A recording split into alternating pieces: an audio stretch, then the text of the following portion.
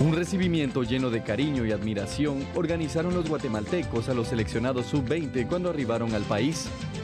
Luego de su gran participación en el torneo de CONCACAF, en el que clasificaron al Mundial de Indonesia 2023, familiares de los seleccionados, orgullosos, acudieron para recibirlos como unos verdaderos campeones.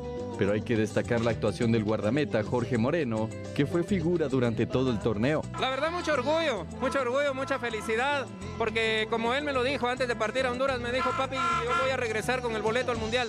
Y él es un convencido, desde que es niño él es convencido de su trabajo.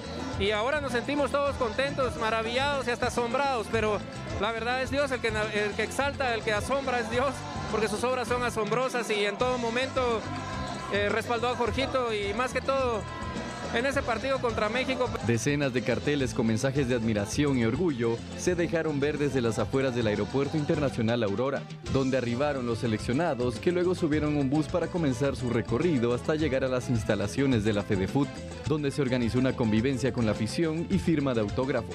La felicidad no era para menos, pues luego de 11 años lograron una nueva gesta para Guatemala, al darle su segundo pase a un mundial de fútbol en esta categoría, luego de vencer al cuadro mexicano. horizonte Bueno, y como sabemos, recientemente la Selección Nacional Sub-20 retornó a Guatemala luego de su participación en este campeonato de CONCACAF, torneo en el que participó por primera vez en 1962, logrando el subcampeonato, al igual que en el 73 logró su segunda clasificación a una Copa del Mundo en esta categoría. La primera fue en 2011.